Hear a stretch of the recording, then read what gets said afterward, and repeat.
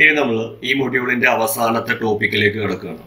അതാണ് conversion of a galvanometer എന്താണ് conversion of a galvanometer ഒരു ഗാൽവനോമീറ്ററിനെ നമ്മൾ കൺവേർട്ട് ചെയ്യാണ് ഇവിടെ. മറ്റ് ചില ഡിവൈസുകളായിട്ട് ഗാൽവനോമീറ്ററിനെ നമ്മൾ ഇവിടെ കൺവേർട്ട് ചെയ്യാൻ ശ്രമിക്കുകയാണ്.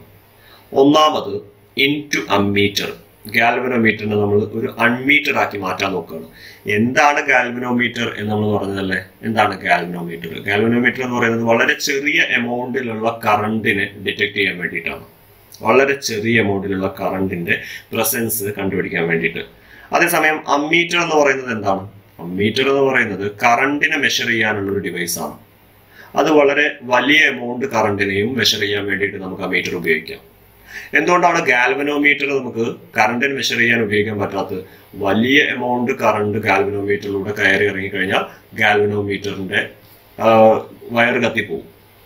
അതായത് ഗാൽവനോമീറ്റർ എന്ന് പറയുന്ന ആ ഡിവൈസിന് അത്രയും വലിയ എമൗണ്ടിലുള്ള കറണ്ടിനെ സ്വീകരിക്കാനുള്ള കറണ്ടിനെ കടത്തിവിടാനുള്ള കഴിവില്ല. പക്ഷെ നമുക്കൊരു ഗാൽവനോമീറ്ററിനെ ഒരു അമ്മീറ്റർ ആക്കി മാറ്റാൻ പറ്റും. അതാണ് നമ്മൾ പറയാൻ പോകുന്നത്. എങ്ങനെ? എങ്ങനെയാണ് അമ്മീറ്റർ ആക്കി മാറ്റുന്നത് അതിനെ? ഇവിടെ നിങ്ങൾ നോക്കൂ. ഇതാണല്ലോ ഗാൽവനോമീറ്റർ ഗാൽവനോമീറ്ററിന്റെ സിമ്പലാണ് ഇവിടെ കാണിച്ചിട്ടുള്ളത്. ആ ഗാൽവനോമീറ്ററിന് എക്രോസ് ആയിട്ട് അതിന് പാരലായിട്ട് നമ്മൾ ഇവിടെ ഒരു റെസിസ്റ്റർ കണക്ട് ചെയ്തിട്ടുണ്ട്. ഈ റെസിസ്റ്ററിനെയാണ് നമ്മൾ ഷണ്ട് റെസിസ്റ്റർ എന്ന് വിളിക്കുന്നത്. ഈ റെസിസ്റ്റർ ആണ് ഷണ്ട് റെസിസ്റ്റർ അതിന്റെ റെസിസ്റ്റൻസിന്റെ വാല്യൂ ആണ് എസ് എന്നിട്ടുള്ളത് ഗാൽവനോമീറ്ററിന്റെ റെസിസ്റ്റൻസ് ആണ് ഇവിടെ ജി എന്ന് കാണിച്ചിട്ടുള്ളത് കേട്ടോ. ഈ ജി എന്ന് പറയുന്നത് ഗാൽവനോമീറ്ററിന്റെ റെസിസ്റ്റൻസ് ആണ് എന്ന് കരുതുക. ഓക്കെ ഇങ്ങനെയാണ് ഇതാണ് നമ്മുടെ സർക്യൂട്ട് ഇങ്ങനെയാണ് നമ്മൾ ഒരു ഗാൽവനോമീറ്ററിനെ ഒരു അമ്മീറ്റർ ആക്കി മാറ്റുക. നമ്മൾ ഗാൽവനോമീറ്ററിന് പാരലൽ ആയിട്ട് ഒരു ഷണ്ട് റെസിസ്റ്ററിനെ കണക്ട് ചെയ്ത് കഴിഞ്ഞാൽ അത് എന്തായി മാറിയിട്ടുണ്ടാവും? അതൊരു അമ്മീറ്റർ ആയിട്ട് മാറിയിട്ടുണ്ടാവും. അങ്ങനെയാണെങ്കിൽ എന്താണ് ഈ ഷണ്ട് റെസിസ്റ്റർ എന്ന് പറയുന്നത്? ഈ ഷണ്ട് റെസിസ്റ്റർ എന്താണ് എന്ന് നമുക്ക് പറയാം. ഈ ഷണ്ട് റെസിസ്റ്റർ എന്ന് പറയുന്നത് അതൊരു ലോ റെസിസ്റ്റൻസ് ആണ്. ഒരു ലോ റെസിസ്റ്റൻസ് അതിന്റെ പ്രത്യേകത എന്താണ്? അത് നമ്മുടെ ഡിവൈസിനെ പ്രൊട്ടക്ട് ചെയ്യാൻ വേണ്ടിയിട്ടുള്ളതാണ്. Which protects the device from the heavy current വലിയ എമൗണ്ട് കറണ്ടിൽ നിന്ന് ഹെവി കറണ്ടിൽ നിന്ന് ഡിവൈസിനെ പ്രൊട്ടക്ട് ചെയ്യാനുള്ള ഒരു ലോ റെസിസ്റ്റൻസിനെ നമ്മൾ വിളിക്കുന്ന പേരാണ് ഷണ്ട്. അതാണ് ഇവിടെ കാണിച്ചിട്ടുള്ളത്. ഓക്കെ ഇനി എങ്ങനെയാണ് ഇതിന്റെ വർക്കിംഗ് ഇത് എങ്ങനെയാണ് ഇപ്പോൾ ഒരു അമ്മീറ്റർ ആയിട്ട് വർക്ക് ചെയ്യുന്നത് എന്ന് നമുക്ക് നോക്കാം. ആദ്യം അത് എങ്ങനെയാണ് നമ്മൾ അമ്മീറ്റർ ആക്കി മാറ്റിയത് എന്ന് എഴുതണ്ടേ എങ്ങനെയാണ് നമ്മൾ ഇതിനെ അമ്മീറ്റർ ആക്കി മാറ്റിയത് ഇത് എങ്ങനെയാണ് by connecting by connecting a shunt resistor a shunt resistor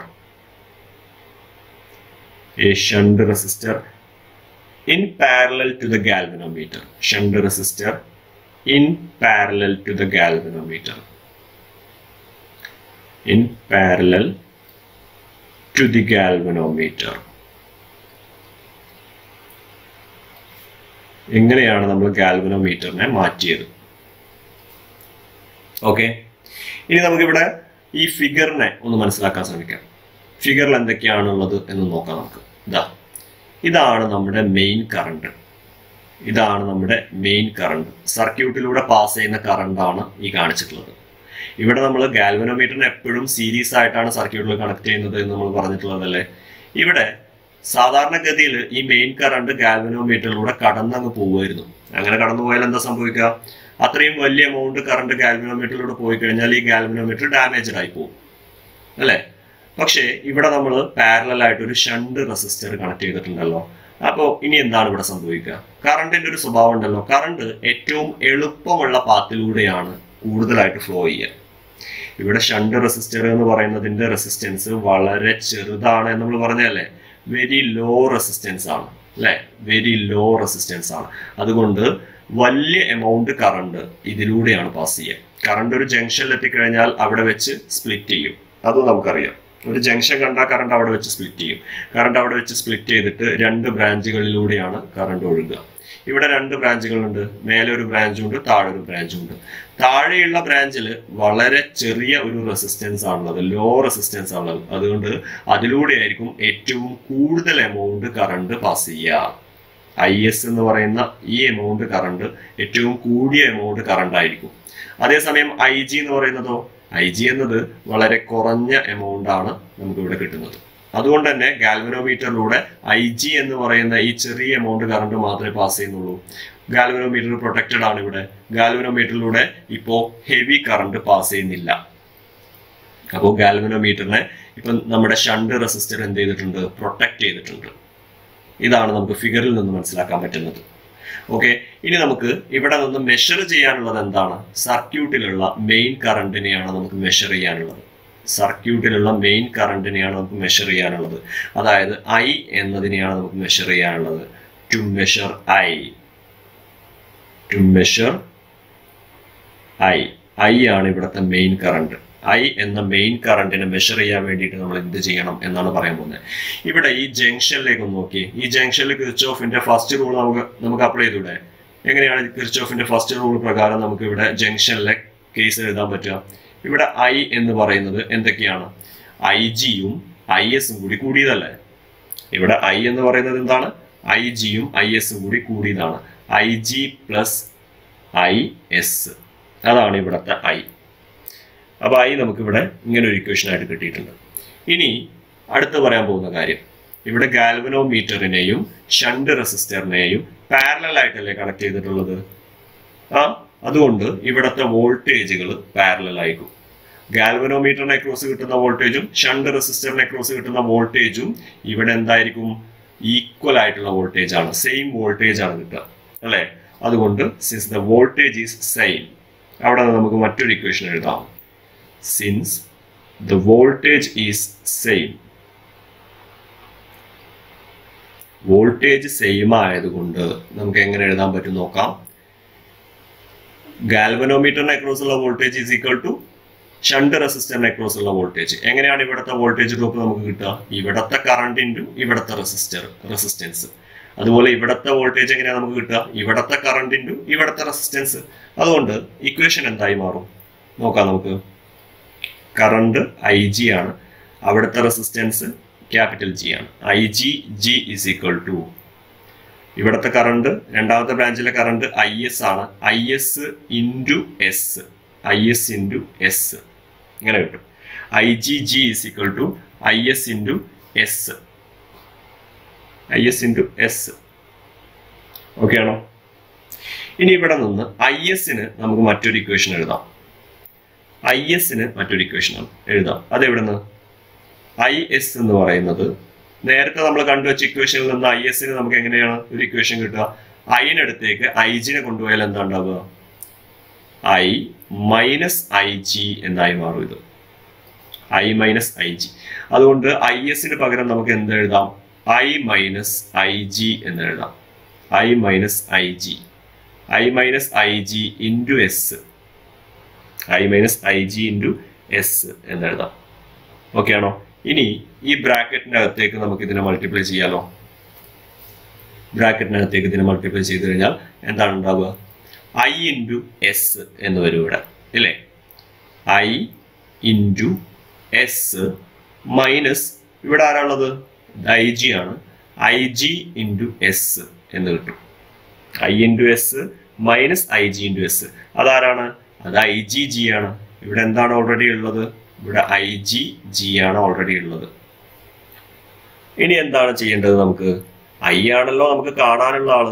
അതുകൊണ്ട് ഐ ജി എന്ന ഈ ടേമിനെ ഞാൻ അപ്പുറത്തേക്ക് കൊണ്ടുപോവാണ്. ഈ മൈനസ് ഐ ജി എന്ന് പറയുന്ന ടേം അപ്പുറത്തേക്ക് പോകുമ്പോൾ അത് എന്തായി മാറും? ഇത് പ്ലസ് ഐ ജി ആവും അല്ലെ? ഐ ജി എസ് ആവും. ഐ ജി ജി ഓൾറെഡി ഇവിടെ ഉണ്ട്. മൈനസ് ഐ ജി എസിനെ നമ്മൾ സമത്തിന് അപ്പുറത്തേക്ക് കൊണ്ടുപോയി അതെന്തായി മാറിയിട്ടുണ്ടാവും?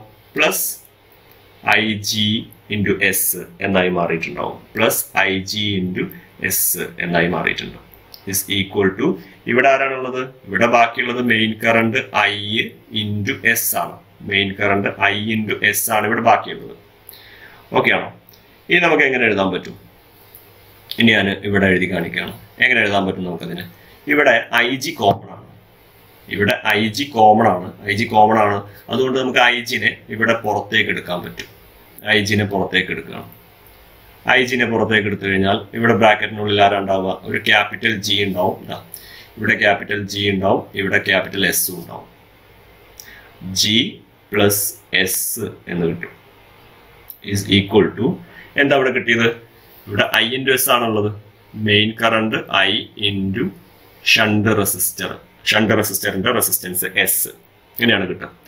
ഇവിടെ നിന്ന് ഐ ജി എന്ന ഗാൽവനോമീറ്റർ കറണ്ടിന് ഒരു ഇക്വേഷൻ ഉണ്ടാക്കിയെടുക്കാൻ പറ്റുമോ നോക്കാം നമുക്ക്. I G is equal to ഇവിടെ ഓൾറെഡി ഉള്ളത് ആരാണ്? ഐ ഇന്റു എസ് ആണ്.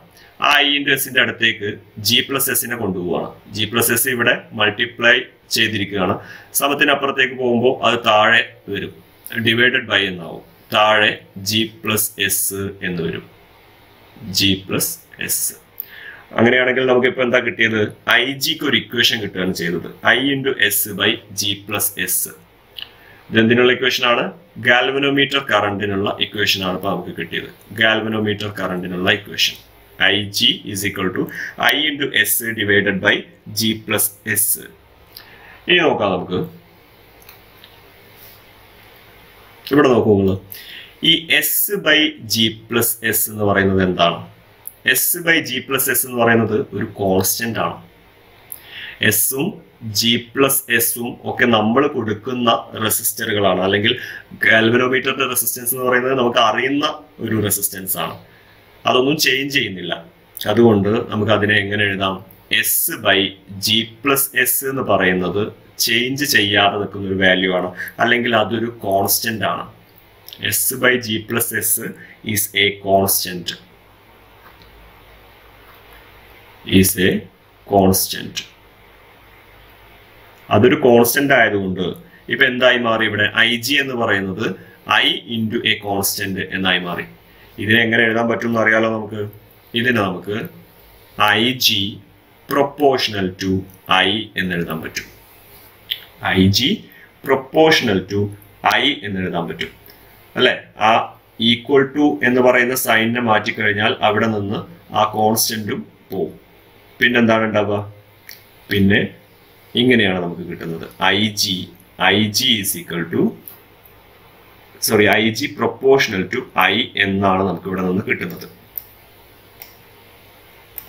ഓക്കെ എന്താണ് ഇതിന്റെ അർത്ഥം? ഇതിന്റെ അർത്ഥം എന്താണ് പറയുന്നത്? നമ്മുടെ ഗാൽവനോമീറ്ററിലൂടെ കടന്നു പോകുന്ന കറണ്ട് എന്ന് പറയുന്നത് മെയിൻ കറണ്ടിന് പ്രൊപ്പോർഷനിലാണ് എന്നാണ്. അതായത് ഇപ്പോൾ ഗാൽവനോമീറ്റർ കാണിച്ചുകൊണ്ടിരിക്കുന്ന കറണ്ട് അത് മെയിൻ കറണ്ടിന് പ്രൊപ്പോർഷണൽ ആയിട്ടുള്ള ഒരു കറണ്ടാണ് ഇപ്പോൾ മെയിൻ കറണ്ടിന്റെ വാല്യൂ നമുക്ക് മെഷർ ചെയ്യണമെങ്കിൽ ഈ ഗാൽവനോമീറ്ററിന്റെ ഡിഫ്ലക്ഷൻ നോക്കിയാൽ തന്നെ മതി. പോരെ? അപ്പോൾ നമുക്ക് അത് മെയിൻ പോയിന്റ് ആയിട്ട് എഴുതാം. I can be measured from the galvanometer reading ഇതാണ് നമ്മുടെ main point I can be measured I can be measured from the galvanometer reading from the galvanometer reading. Galvanometer reading ആ ഗാൽവനോമീറ്റർ റീഡിങ്ങിൽ നിന്ന് നമുക്കിപ്പോൾ എന്ത് കിട്ടും? കറണ്ട് മെയിൻ കറണ്ട് ആയിട്ടുള്ള I കിട്ടും. ഓക്കെ ഇതാണ് നമ്മുടെ ഗാൽവനോമീറ്ററിനെ എങ്ങനെയാണ് നമ്മൾ അമീറ്റർ ആക്കി മാറ്റുക എന്നുള്ള ഡെറിവേഷൻ ഗാൽവനോമീറ്ററിന് പാരലൽ ആയിട്ട് ഒരു ഷണ്ട് റെസിസ്റ്റർ കൊടുക്കല്ലേ വേണ്ടത്? അല്ലേ? പക്ഷേ ആ ഷണ്ട് റെസിസ്റ്ററിന്റെ വാല്യൂ എന്താണ് എന്നെങ്ങനെയാണ് നമ്മൾ കണ്ടുപിടിക്കുക? അതാണ് ഇനി പറയാൻ പോണത് to find to find s. ആ എസിന്റെ വാല്യൂ നമുക്ക് മെഷർ ചെയ്യേണ്ടതായിട്ട് വരും. എന്നിട്ടാണ് നമ്മൾ ആ ഷണ്ട് റെസിസ്റ്റൻസിനെ അവിടെ കണക്ട് ചെയ്യുന്നത്. അപ്പോൾ നമ്മൾ ഇക്വേഷൻ എഴുതിയ കൂട്ടത്തിൽ ഗാൽവനോമീറ്ററിന് അക്രോസും ഷണ്ട് റെസിസ്റ്ററിന് അക്രോസും ഉള്ള വോൾട്ടേജ് സെയിം ആണ് എന്ന് പറഞ്ഞിട്ടുണ്ടായിരുന്നില്ലേ? അവിടെ നിന്ന് നമ്മൾ ഇങ്ങനെ എഴുതിയില്ലേ? I G G is equal to I S into S എന്ന്. ഐ എസ് എന്ന് പറയുന്നത് ആരാണ്? ഐ എസ് എന്ന് പറയുന്നത് ഐ മൈനസ് ഐ ജി ആണ്. അല്ലേ? I minus I G into S എന്ന് എഴുതിയിട്ടുണ്ടായിരുന്നു. ഇവിടെ നിന്ന് നമുക്ക് എക്സിന്റെ വാല്യൂ വളരെ പെട്ടെന്ന് കണ്ടുപിടിക്കാൻ പറ്റും. എസ് ഇസ് ഈക്വൽ ടു ഇവിടെ ഐ ജി ജിയുടെ അടുത്തേക്ക് ഐ മൈനസ് ഐ ജിയെ കൊണ്ടുപോയാൽ മതി. ഐ ജി ജിയുടെ അടുത്തേക്ക് കൊണ്ടുപോവുക. I G G divided by I minus I G ഇവിടെ മേലെ കിടക്കുന്ന ഐ മൈനസ് ഐ ജിയെ നമ്മൾ അപ്പുറത്തേക്ക് കൊണ്ടുപോയി കഴിഞ്ഞാൽ അത് താഴെ വരും. ഐ മൈനസ് ഐ ജി എന്നായി മാറും. അല്ലേ? അപ്പൊ നമുക്ക് ഇവിടെ എന്താണ് ഇപ്പൊ കിട്ടിയത്? ഇവിടെ എസിനൊരു ഇക്വേഷൻ ആണ് കിട്ടിയത്. എസ് എന്ന് പറയുന്നത് ഷണ്ട് റെസിസ്റ്റൻസ് ആണ്. ആ ഷണ്ട് റെസിസ്റ്റൻസിന് ഒരു ഇക്വേഷനെയാണ് ഇപ്പോൾ നമുക്ക് ഇവിടെ നിന്ന് കിട്ടിയിട്ടുള്ളത്. എന്താണ് ആ equation I G G by I minus I G ഇതിൽ ഐ ജി എന്താണ് എന്നൊന്ന് നമുക്ക് വേണമെച്ചാൽ സ്പെസിഫൈ ചെയ്തിടാം. ഐ ജി എന്ന് പറയുന്നത് മാക്സിമം ഗാൽവനോമീറ്റർ ആണ്. ഗാൽവനോമീറ്ററിലൂടെ കടന്നു പോകാവുന്ന maximum current maximum galvanometer current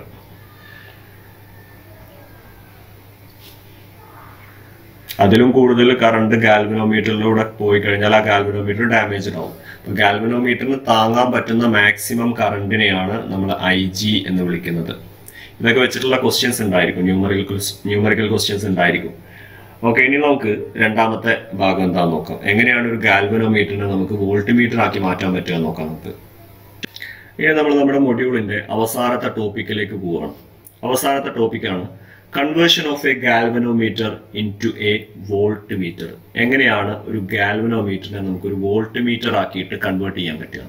ഒരു വോൾട്ട് മീറ്റർ എന്താന്ന് നമുക്ക് എല്ലാവർക്കും അറിയാം. വോൾട്ട് മീറ്റർ എന്ന് പറയുന്നത് വോൾട്ടേജിനെ അളക്കാനുള്ള ഒരു ഡിവൈസ് ആണ്. പൊട്ടൻഷ്യൽ ഡിഫറൻസിനെ അളക്കാനുള്ള ഒരു ഡിവൈസ് ആണ് വോൾട്ട് മീറ്റർ എങ്ങനെയാണ് അപ്പോൾ ഗാൽവനോമീറ്ററിനെ നമുക്ക് വോൾട്ട് മീറ്റർ ആക്കിയിട്ട് കണക്ട് ചെയ്യാൻ പറ്റുക?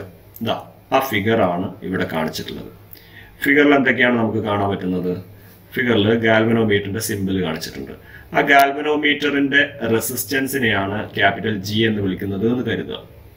ഇനി ഈ ഗാൽവനോമീറ്ററിന് സീരീസ് ആയിട്ടാണ് ഇവിടെ ഒരു ലാർജ് റെസിസ്റ്റൻസിനെ കണക്ട് ചെയ്തിട്ടുള്ളത്. ഇതൊരു ലാർജ് റെസിസ്റ്റൻസ് ആണ്. ഒരു ലാർജ് റെസിസ്റ്റൻസിനെ ഗാലനോമീറ്ററിന് സീരീസ് ആയിട്ട് കണക്ട് ചെയ്തിട്ടുണ്ട്. ഇപ്പോൾ ഇതൊരു വോൾട്ട് മീറ്റർ ആയിട്ട് വർക്ക് ചെയ്യും. ഇപ്പൊ ഇതൊരു വോൾട്ട് മീറ്റർ ആയിട്ടാണ് വർക്ക് ചെയ്യുന്നത്. ഇത് വെച്ച് നമുക്കിപ്പോൾ വോൾട്ടേജിനെ മെഷർ ചെയ്യാൻ പറ്റും. അപ്പൊ എങ്ങനെയാണ് ഇപ്പൊ നമ്മൾ ഇതിനെ കൺവേർട്ട് ചെയ്തത് ഗാൽവനോമീറ്ററിനെ എങ്ങനെയാണ് നമ്മൾ കൺവേർട്ട് ചെയ്തത്? By connecting by connecting a large resistance അല്ലെ? A large resistance in series series ആയിട്ടല്ലേ നമ്മൾ ഇവിടെ കണക്ട് ചെയ്തത്? ഇൻ സീരീസ് വിത്ത് ദ ആർക്ക് സീരീസ് ആയിട്ട് ഗാൽവനോമീറ്ററിന് in series with the galvanometer galvanometer ഇതാണ് അതിന്റെ കണക്ഷൻ ഇനി എങ്ങനെയാണ് ഇവിടെ ഈ ഗാൽവനോമീറ്റർ ഇപ്പോൾ വോൾട്ടേജിനെ മെഷർ ചെയ്യുന്നത് എന്നാണ് നമുക്ക് നോക്കാനുള്ളത്. ഈ ഫിഗറിലേക്ക് ഒന്നുകൂടി നോക്കൂ. ഫിഗറിൽ ഇതിലൂടെ വരുന്ന കറണ്ടാണ് ഐ ഐ എന്ന് പറയുന്നതാണ് ഇവിടുത്തെ കറണ്ട് ഈ കറണ്ട് ഐ ജി തന്നെയാണ്. അതായത് ഗാൽവനോമീറ്ററിലൂടെ കടക്കുന്ന കറണ്ട് ഐ ജി എന്നാണല്ലോ നമ്മൾ വിളിക്കാറ്. ഇവിടെ ഐ എന്ന് പറയുന്ന കറണ്ട് തന്നെയാണ് ഐ ജി കാരണം ഇവിടെ കറണ്ട് വേറെ ബ്രാഞ്ച് ആയിട്ടൊന്നും പോകാനില്ല പക്ഷേ ഈ ഐ ജി എന്ന് പറയുന്ന കറണ്ട് വളരെ ചെറിയ കറണ്ട് ആയിരിക്കും. കാരണം എന്താ? ഇവിടെ ഒരു വലിയ റെസിസ്റ്റൻസ് ആണ് ഇവിടെ ഉള്ളത്. വലിയ റെസിസ്റ്റൻസ് ആണ് ഇവിടെ ഉള്ളത്. ലാർജ് റെസിസ്റ്റൻസ് ആണ് ഉള്ളത്. ആ ലാർജ് റെസിസ്റ്റൻസ് ഉള്ളത് കൊണ്ട് ഇതിലൂടെ കടന്നു പോകുന്ന കറണ്ട് ചെറുതായിരിക്കും. മനസ്സിലാവുന്നുണ്ടോ? അതുകൊണ്ട് ഐ ജി എന്ന് പറയുന്ന കറണ്ട് വളരെ ചെറിയ കറണ്ട് ആയിരിക്കും. അതുകൊണ്ട് ഗാൽവനോമീറ്ററിന് ഇവിടെ വലിയ പ്രശ്നമൊന്നും വരാനില്ല. ഗാൽവനോമീറ്ററിന് ഇവിടെ ഹെവി കറണ്ട് കാരണം ഉണ്ടാകുന്ന ഡാമേജ് ഒന്നും വരാനില്ല. ഓക്കെ ആണോ? ഇനി ഞാൻ പറയാൻ പോകുന്നത് എന്താണെന്ന് വെച്ചാൽ ഈ എന്നൊരു ടേമിനെ ഞാനിവിടെ ഇൻട്രൊഡ്യൂസ് ചെയ്യണം. ഇ എന്ന് പറയുന്ന ടേമാണ് maximum voltage to be measured നമുക്ക് അളക്കേണ്ട മാക്സിമം വോൾട്ടേജിനെയാണ് ഇ എന്ന് വിളിക്കുന്നത്. അതാണ് എഴുതാൻ പോകുന്നത്. Maximum voltage to be measured maximum voltage to be measured maximum voltage to be measured നമുക്ക് അളക്കേണ്ടതായിട്ടുള്ള മാക്സിമം വോൾട്ടേജിനെ ഞാൻ ഇ എന്ന് വിളിച്ചു. ഇനി നമുക്ക് ഇവിടെ നിന്ന് ഓംസ് ലോ വെച്ചിട്ട് ഒരു ഇക്വേഷൻ ഉണ്ടാക്കിയെടുക്കാൻ പറ്റും. ഓംസ് ലോയിൽ പറയുന്നത് എന്താണ്? വോൾട്ടേജ് ഇസ് ഈക്വൽ ടു എന്തൊക്കെയാണ്? കറണ്ട് ഇന്റു റെസിസ്റ്റർ എന്നല്ലേ? അവിടെ നിന്ന് നമ്മൾ കറണ്ടിന് ഒരു ഇക്വേഷൻ ഉണ്ടാക്കിയെടുക്കാൻ പറ്റുമല്ലോ. അതാണ് നമ്മൾ ഇവിടെ എഴുതാൻ പോകുന്നത്. By Ohm's law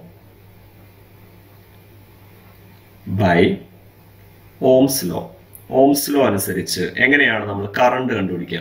ഗാൽവനോമീറ്ററിലൂടെ കടന്നു പോകുന്ന ഈ ഐ ജി എന്ന കറണ്ടിനെ എങ്ങനെയാണ് ഓംസ് ലോ ഉപയോഗിച്ചിട്ട് നമ്മൾ എഴുതുക? I G is equal to അവിടുത്തെ വോൾട്ടേജ് ഡിവൈഡഡ് ബൈ അവിടുത്തെ റെസിസ്റ്റൻസ് അല്ലേ? ഇവിടെ വോൾട്ടേജ് എന്ന് പറയുന്നത് ഇ ആണ് എന്ന് നമ്മൾ എടുത്തിട്ടുണ്ട്. ഇ ഡിവൈഡഡ് ബൈ ഇവിടുത്തെ റെസിസ്റ്റൻസ് എന്താ? ഇത് ഗാൽവനോമീറ്ററിന്റെ റെസിസ്റ്റൻസ് ആണ് ജി ഒരു ലാർജ് റെസിസ്റ്റൻസ് ആണ് ആറ്. ഇത് രണ്ടും സീരീസ് ആയിട്ടാണ് കണക്ട് ചെയ്തിട്ടുള്ളത്. സീരീസ് ആയിട്ട് കണക്ട് ചെയ്തത് കൊണ്ട് തന്നെ ഇവരുടെ ടോട്ടൽ റെസിസ്റ്റൻസ് എഫക്റ്റീവ് റെസിസ്റ്റൻസ് എന്ന് പറയുമ്പോൾ നമുക്കത് വെച്ച് കൂട്ടിയാൽ മതി അല്ലെ? ജിയും ആറും കൂടി കൂട്ടിയതായിരിക്കും ഇവിടുത്തെ ടോട്ടൽ റെസിസ്റ്റൻസ്. അതുകൊണ്ട് ഐ ജി എന്ന് പറയുന്നത് E by G plus R ആയിരിക്കും. ഓക്കെ ഇനി നമ്മൾ അറിയേണ്ടത് ഈ ജി എന്നത് ഗാൽവനോമീറ്റർ റെസിസ്റ്റൻസ് ആണ്. ആറ് ഒരു ലാർജ് റെസിസ്റ്റൻസ് ആണ്. ഇത് രണ്ടും കോൺസ്റ്റന്റുകളാണ്. ജിയും ആറും കോൺസ്റ്റൻസ് ആണ് അല്ലെ? ജിയും ആറും കോൺസ്റ്റന്റുകളാണ്. കോൺസ്റ്റൻസ് അതുകൊണ്ട് ജിയും ആറും കോൺസ്റ്റന്റ് ആണെങ്കിൽ നമുക്ക് അവിടെ നിന്ന് വേറൊരു രൂപത്തിൽ എഴുതാലോ അതിനെ? ഇത് രണ്ടും കോൺസ്റ്റന്റ് ആണെങ്കിൽ ഇവിടെ ഐ ജി എന്ന് പറയുന്നത് എന്താണെന്ന് അപ്പൊ കിട്ടുന്നത്? E divided by a constant E divided by a constant എന്ന് പറയുന്നത് എന്ത് തന്നെയാണ്? E into one by a constant അല്ലെ? അതുകൊണ്ട് ഐ ജി എന്ന വാല്യൂ ഗാൽവനോമീറ്ററിന്റെ കറണ്ട് ആണത്. ഐ ജി എന്ന വാല്യൂ എന്താണെന്ന് നമുക്ക് കിട്ടും? I G proportional to E ആണ് എന്ന് മനസ്സിലാക്കാൻ പറ്റും. I G proportional to E ആണ്. എന്താ അപ്പൊ അതിന്റെ അർത്ഥം? I G proportional to E എന്ന് പറഞ്ഞാൽ അതിന്റെ അർത്ഥം എന്താണ്? ഇപ്പൊ ഗാൽവനോമീറ്ററിൽ കാണിച്ചുകൊണ്ടിരിക്കുന്ന ഈ കറണ്ടിന്റെ വാല്യൂ ഉണ്ടല്ലോ. അത് അതിന് അക്രോസ് ഉള്ള വോൾട്ടേജിന് ഡയറക്ട്ലി പ്രൊപ്പോർഷണൽ ആയിരിക്കും. അതായത് കറണ്ട് ഗാൽവനോമീറ്റർ ഇപ്പൊ കാണിച്ചുകൊണ്ടിരിക്കുന്ന കറണ്ട് വോൾട്ടേജിന് പ്രൊപ്പോർഷണൽ ആണ്. അവിടെ നിന്ന് നമുക്ക് വോൾട്ടേജിനെ മെഷർ ചെയ്യാൻ പറ്റും.